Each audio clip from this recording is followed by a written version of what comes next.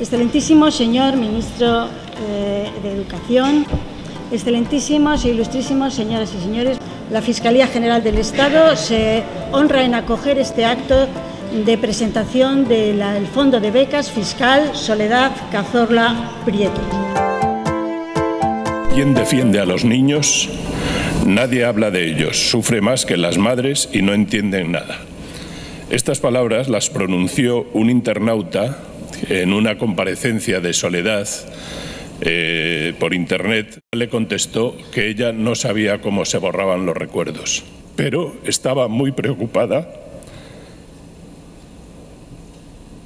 por lo que pasaba con los niños, por los hijos que sufrían sin saber por qué, por las víctimas que ella llamaba colaterales. Y esta ha sido la razón por la cual nosotros hemos decidido poner nuestro granito de arena en esto. Ella insistía y decía casi siempre tres palabras, educación, educación, educación.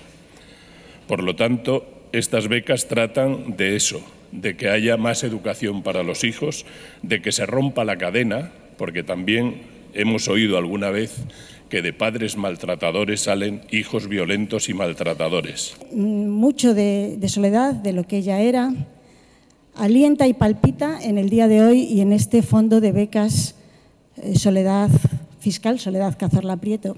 Son becas de justicia y sin ser becas de excelencia la van a cultivar y la van a promocionar, no solamente en sus beneficiarios, sino en la sociedad, en todos nosotros, porque eh, la excelencia social solo puede cultivarse luchando contra la violencia y recuperando y protegiendo y educando a quienes la han sufrido en sus propias carnes y han visto truncadas su vida y su futuro.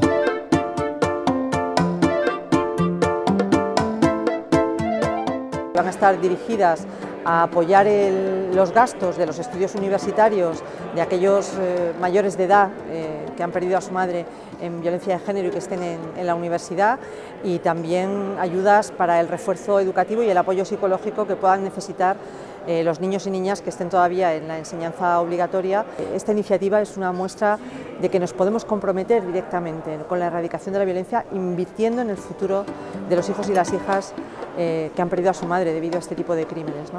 vamos a informar a donantes. Tenemos ya buenas noticias por parte de alguna empresa como Telefónica que sí que nos ha dicho que quiere comprometerse eh, con el fondo y esperamos que los próximos días recibir alguna más.